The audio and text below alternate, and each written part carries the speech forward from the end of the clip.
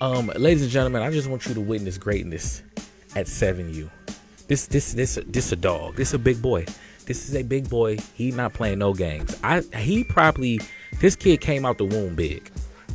I, I want to know his, his stats when he came out the room. I guarantee you he came out the room solid, solid as a rock. Not playing no games, looking for somebody to tackle. As soon as he came up out there, who who who who who wants some smoke? Joel Harris, 7U defensive end running back from the 915 Hurricanes. Big dog. It's a grown man. This is when I be like, hide your kids. I, this is what I mean, like, hide them from.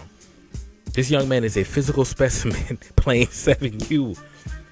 You need not one, not two, but you need three people blocking him. And oh, by the way, look him run the ball. Imagine like this man tackling you right on defense, and you think you got a break. All of a sudden, no, you have to go tackle him now.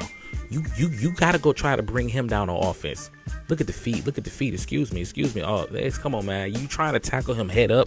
You better get low. You gotta get low. They kicked in the ball. This is kick. This is kick return. They tried to kick it to him. No, he picked that thing up, but he's gone. Don't nobody want to tackle him. He mean business. Future is bright. I'm gonna put the scholarship in